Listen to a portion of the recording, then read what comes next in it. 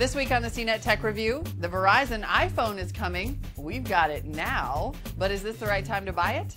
Plus, Google launches the Android Market, News Corp launches the Daily, and Tap That app brings lunches to your doorstep. It's all coming up right now.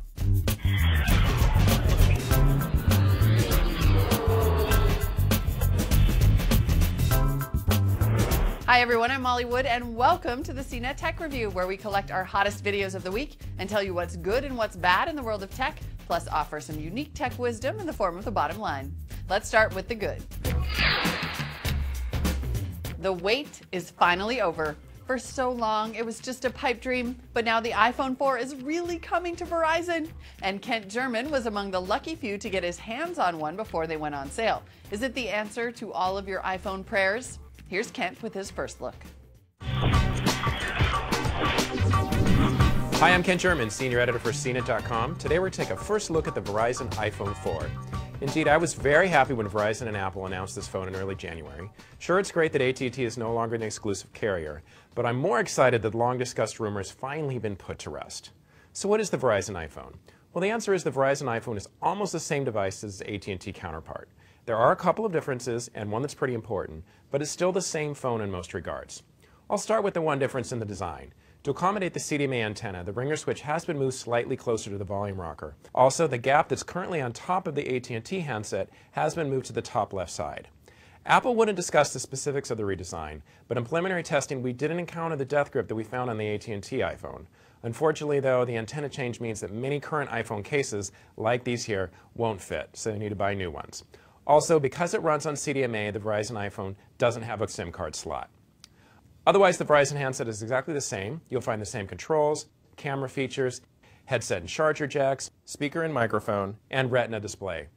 Verizon says it will carry the white iPhone, but we still have no idea when that will be. Last time we heard it was just timed in the spring. Now inside the Verizon iPhone is one major difference. Unlike the AT&T handset, the Verizon iPhone can function as a personal hotspot for up to five devices. You will need to activate the hotspot functionality with Verizon first, but once you do, it will appear in the settings menu. So after you set a password and you turn on the feature, you can get started. You can connect devices through Wi-Fi, Bluetooth, and also a USB cable. And what's really nice is you can use all three connection types at once. Another difference is the Verizon iPhone currently runs iOS 4.2.6, while in comparison, the AT&T iPhone runs iOS 4.2.1. Apple said 4.2.6 is a version unique to the Verizon handset, and the only changes it brings are CDMA support and hotspot feature. The other features on the device are exactly the same, so expect to see no changes from the AT&T phone. Of course, there are a few things the Verizon iPhone can't do. Unlike AT&T's handset, it can't perform simultaneous voice and data. If you're on Wi-Fi, it does do that, but if you're on the cellular network, no. And it doesn't offer global roaming for GSM networks. Also, though Verizon is growing its LTE 4G network, it's currently Verizon iPhone will tops out at 3G. We're still in the midst of testing the device, so you'll have to read the review for our full performance analysis. Voice quality, however, we noticed a few differences, but this is preliminary testing, so I want to emphasize that. Whatever our results, though, I have to stress that you shouldn't expect the Verizon iPhone to be a miracle device. You'll see differences, no doubt, but don't expect it to completely cure your reception woes. You're still using a cellular network that will vary according to your location, interference, and how many people are using it at one time. The expectations for a Verizon iPhone are immensely and ridiculously high. And this handset, I have to say, runs a big risk of not living up to them. That's why it's important to keep those hopes in check. Just recognize it is a phone, still going to have problems once in a while. More importantly, though, the smartphone landscape is very, very different than it was in 2007 when the first iPhone went on sale. Not only are there many other fantastic smartphones on the market, but also there are a lot of people that are perfectly happy with their non-Apple device and don't want to buy one. The iPhone is on a new carrier. That's great. There's more customer choice and it remains a very good phone. But it remains just one player in a very competitive field. I'm Kent German here with a first look at the Verizon iPhone 4. Way to manage expectations, Kent. Personally, if I was looking to buy an iPhone right now, I would wait to see what the next generation of hardware has to offer but that's just me. For more reasons why you might not want to rush into a new relationship with Verizon, stick around for this week's top five coming up later in the show. So maybe you don't like AT&T or Verizon or phone contracts in general, but you still want to jump on the smartphone bandwagon. Well, if you're willing to go the Android route, and you should be, you'll want to check out LG's Optimus V. That's V as in Virgin. I'm Nicole Lee, Senior Associate Editor for CNET.com, and this is a first look at the LG Optimus V for Virgin Mobile. The LG Optimus V is almost identical to the LG Optimus S. In fact, it has the same design and everything. However, the only difference is that the button placement is slightly different. For example, at the bottom here, you do get the hot sensor keys for the menu key, the home key, the back key, and the search key. Otherwise, the overall interface is pretty similar to the other LG Optimus phones. You get up to five customizable home screens and the LG Optimus V comes with its own Virgin Mobile skin. It's nice and slim as you can see here and is coated in a nice comfortable soft touch finish. On the back is the 3.2 megapixel camera. The LG Optimus V is built as an entry-level smartphone, but that doesn't mean it's lacking any features. In fact, it has Wi-Fi, GPS, as well as EVDO Rev-A. It also ships with Android 2.2. However, it doesn't have flash video in the browser and it does not allow mobile hotspot tethering. Aside from the usual Google Maps that include Gmail, Google Voice Search, and more, it also has Virgin Mobile Maps like Virgin Mobile Live that lets you view and stream music videos from Virgin Mobile Festival artists. A few other apps included in here are, of course, Google Maps, as well as YouTube and Where, a location-based app. The LG Optimus V is very affordably priced at only $150 without a contract. I'm Nicole Lee. This has been the first look at the LG Optimus V. And of course, once you've taken the Android leap, there's nothing stopping you from loading up your new phone with a bunch of apps. Up till now, that process has been a little bit tedious. But luckily this week, Google unveiled its new App Store. I mean, Android Market Web Store. Google finally debuted a long missing and long demanded way to get your apps on your Android phones and tablets, a web based marketplace. Hi, I'm Seth Rosenblatt for CNET, and in this first look, I'll be taking you on a tour of the new Android market at android.market.com. One of the best things about the market that's sure to make iPhone users jealous is that you can search for apps directly from your browser and without logging in. Once logged in, you can push apps directly to your phone or tablet.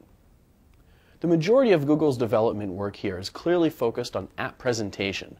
Featured apps take center stage on a large rotating carousel of highlights, but the key thing here is the new search option that persistently lives at the top. Enter a query and a slick black bar appears between the bottom of the search box and your results. Click it to reveal search filters.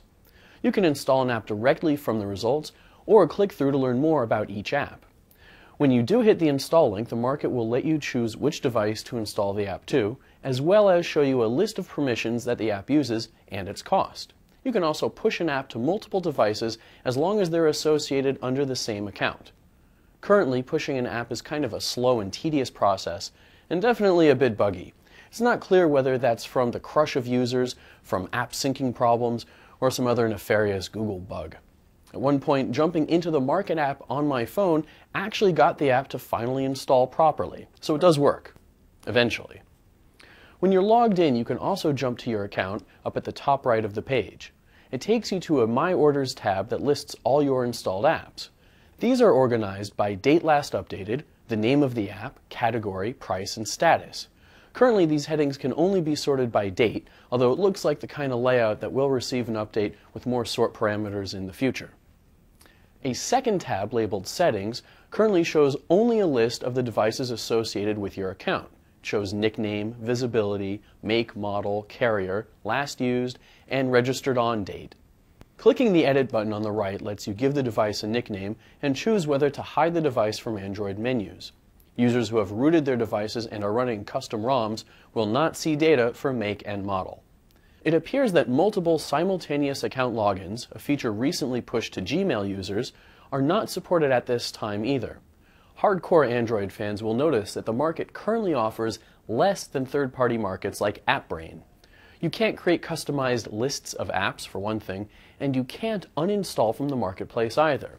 That all being said, it's a good sign that Google is finally entering the market for markets because at the very least it will force third-party markets to up their game or become irrelevant. With a first look at Google's Android market, I'm Seth Rosenblatt for CNET. Now, if you end up going a little crazy and downloading too many apps, be sure to check out Antuan Goodwin's video on how to free up space for apps on Android 2.2. You can find that, like all of today's videos and more, at cnettv.com. Turning to today's news news, publishing magnate Rupert Murdoch was in New York Wednesday to debut a new publication for the iPad called The Daily. We'll call it a newspaper, for lack of a better word, but as Caroline McCarthy shows us, it's definitely a paper custom made for the digital age.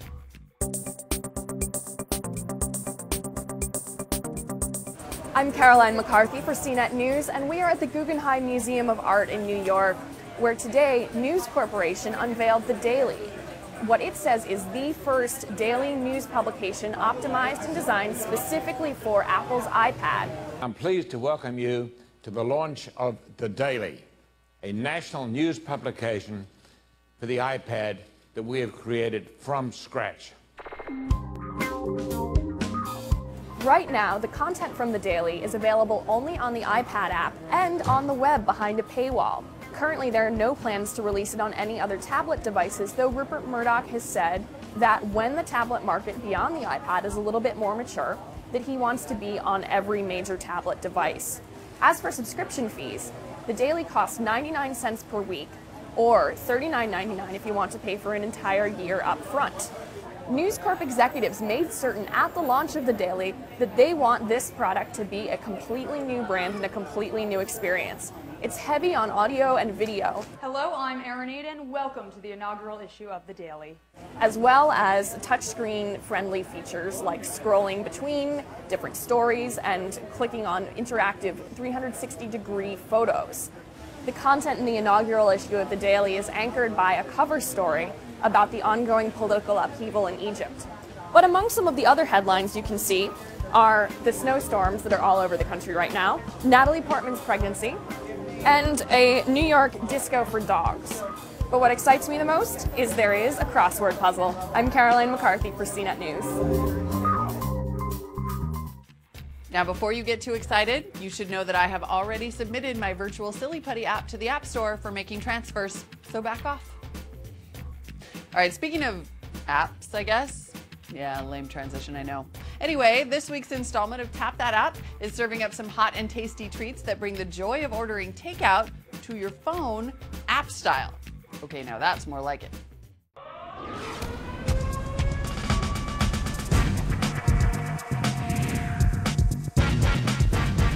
Hey everyone, here's a good trick for the supremely lazy meal hunter who's always on the go. Instead of calling in an order for delivery, you can just create one with an app before you even get home.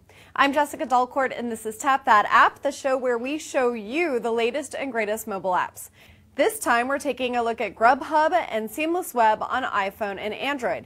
You may be familiar with both these services online and indeed the mobile apps mostly recreate the menu viewing and meal ordering services. I think it's easier to create your account online first, but you can also register from the apps.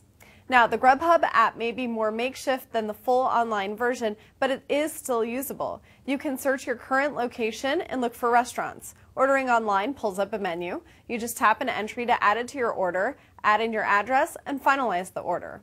Then there's the bizarrely named Seamless Web. It sounds like a web standards consortium, but really it's a Grubhub rival that does a better job on the mobile app. Seamless Web has a few more options for placing an order for delivery or pickup, and it also gives you a map and filters. Apart from that, it works pretty much the same way. After viewing the menu, tap your selection and any additional lunch or dinner items to add them to your bag. You can also type in special instructions. Keep in mind that both these delivery services will require a minimum dollar order. They also have limited databases and don't service every U.S. city. So if you've got your heart set on the little neighborhood Thai restaurant down the street, you better forget these apps and just pick up the phone. Otherwise, these apps are a great option for quickly ordering food from anywhere you've got a Wi-Fi or data connection. So what's your favorite app? Send along your suggestions to tap that app at cnet.com. I'm Jessica Dolcourt, and keep on tapping.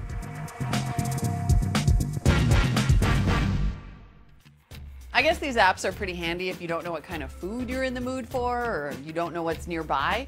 But if you're just ordering from the Chinese place around the corner, is it really that much easier to use an app than to just call them on the phone with your phone? Actually, yeah, I guess you're right. Sometimes it is easier. Anyway, while you go pay the delivery guy, don't forget the tip. Let's take a quick break, and we'll be right back with more tech review right after this.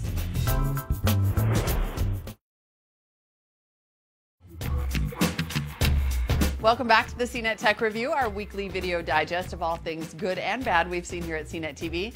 Moving right along, let's see what we've got this week in the bad. Once again, it's time to open up the how to vault and offer some good solutions to bad problems. First up, how to make sure that creep in the coffee shop doesn't steal your Facebook login. And then I'm going to show you how to help your friends and family members stop paying to use AOL. Because you stopped a long time ago, right? Our little secret. Take a look.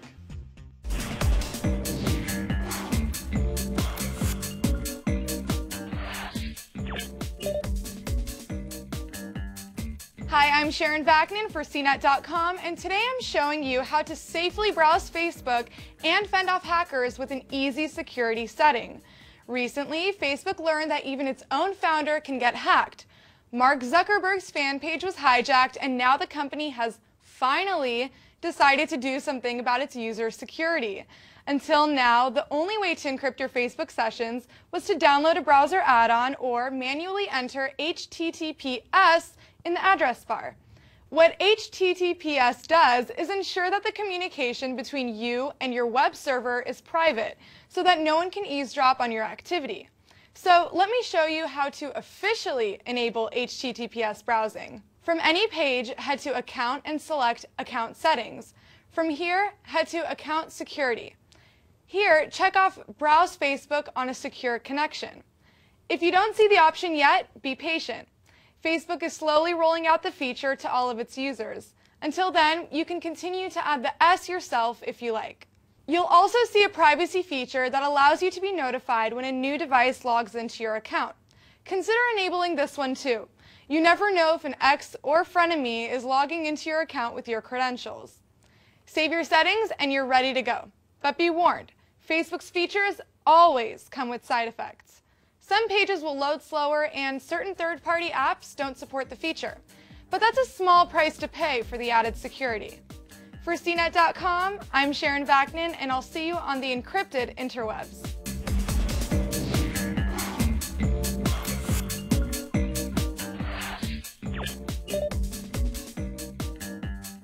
Hi, I'm Molly Wood from CNET.com, and I'm here to show you how to stop paying for AOL. A recent New Yorker article suggested that as much as 80% of AOL's revenue could come from people who don't need to be paying for the service. See, in the old days, an AOL account cost anywhere from 10 bucks a month to $25 a month. Those accounts still exist, but if you already pay for a separate internet connection to your home and you only use AOL for email or browsing, you do not need to be paying anything. In fact, you shouldn't be. So here's how to set your account free, literally. You can make this change from the web or from your AOL software. Here's how to do it from the web. On your AOL.com homepage, sign into your account and then scroll all the way to the bottom of the page and click the blue Help link. On the bottom of that page, you'll see an orange link on the right labeled Go to Account and Settings. Now click the big box labeled Manage My Account. You'll be asked to log in again and either answer or create a security question. Now, way down on the bottom right under Price Plans, there's an option to change my plan or cancel my billing. If your account says anything but free, click the Cancel My Billing link. Now, the next page will offer you a buffet of paid options. You want the pink one for free AOL. Here, you'll see a page that tries to sell you the $4.99 a month Support Plus option, which includes virus scanning and tech support. Now, if you're watching this video, you don't need tech support or you can probably Google whatever your parents might need. And there are plenty of free security options out there, so click zero dollars. Finally, AOL will let you know that you will suddenly see pop-ups in your AOL if you had blocked them before, and that if you use your phone bill or your checking account to auto pay for any AOL premium services, they're still going to try to charge you $7 a month. So you probably want to cancel that too. Now click save and you're all set. You're living the free AOL life, and I think you're going to like it. Now, if you'd like to do the same thing through your AOL desktop software, sign on and then go to the keyword menu or press Control K. type in change plan. On the screen that pops up, you should see your security question again, along with the same options that you see on the web. Follow the same steps as above, and you'll be all set. All right, so what are you missing? Well, if you're on dial up, the $25 a month plan gives you a dial up number, McAfee security, and some vague insurance protection that's almost certainly part of your homeowner's or renter's insurance. And like I said, you can get free security suites everywhere. Check download.com. But that's also the plan they try to sign you up for when you first install AOL. 25 bucks a month even if you're on broadband? No.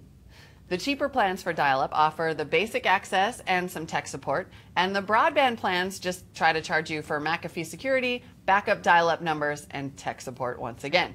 Trust me, for most of you, these are services that you just don't need. I'm sorry, AOL. Everyone else, you're welcome. For CNET How To, I'm Molly Wood. So now you're ready to be a good kid and help get your grandparents to stop paying for AOL. And if you're lucky, maybe there will be a little something extra on your birthday check this year. All right, with that, it's time to check out this week's bottom line. Now, the Verizon iPhone doesn't go on sale until next week, but existing Verizon customers can start pre ordering it right now. But if you're thinking of buying one as soon as you can, this week's top five might make you reconsider.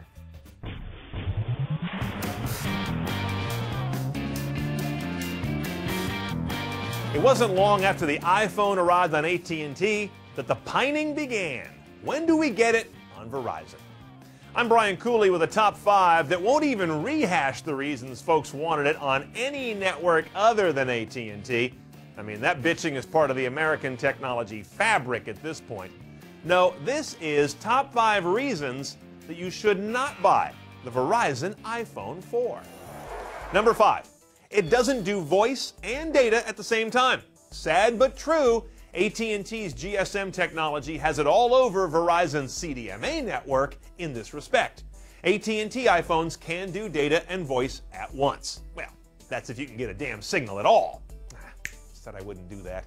Anyway, bear in mind the folks behind CDMA technology promise a network upgrade for Verizon and others to allow dual mode operation. Sometime later this year, maybe. It's still kind of iffy. Got to be concerned about that. Number four, good luck overseas.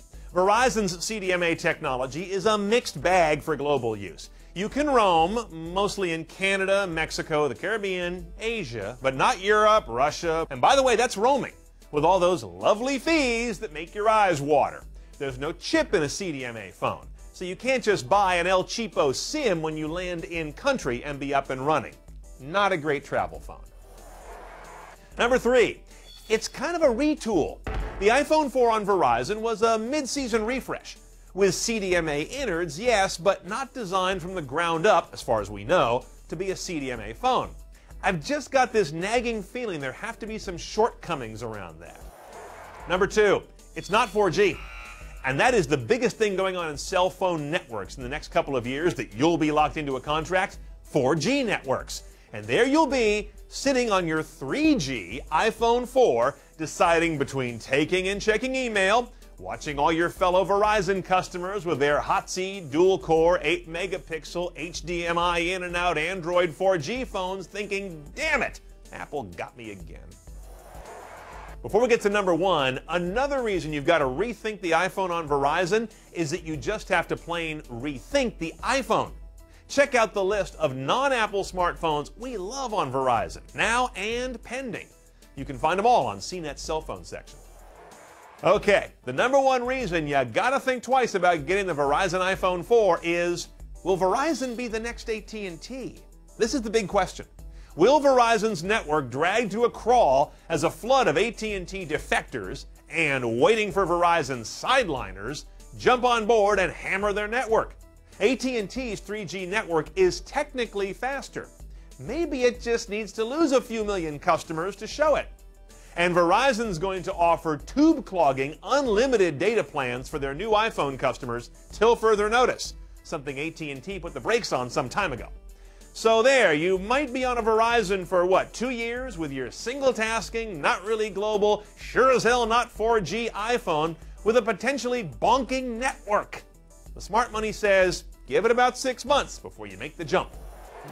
Our complete comparisons and coverage of both flavors of iPhone are always up to date over on CNET's cell phone section. I'm Brian Cooley. Thanks for watching. The bottom line this week it's your call.